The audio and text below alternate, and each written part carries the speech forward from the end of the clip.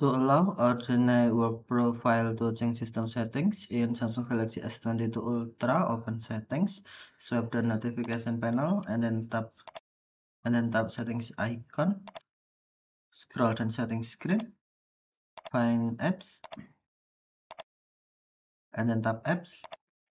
Next tap apps more icon or three dot icon, select special access, and then tap change system settings Scroll down the screen, find work profile.